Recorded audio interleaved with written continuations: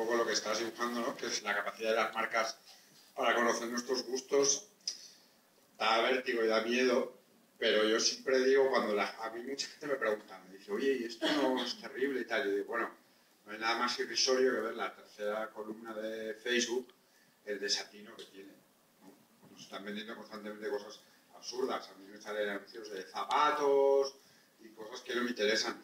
Es decir, que parece que eso vaya a ser como inmediato, creo que para bien y para mal, y por suerte, falta, falta, bastante.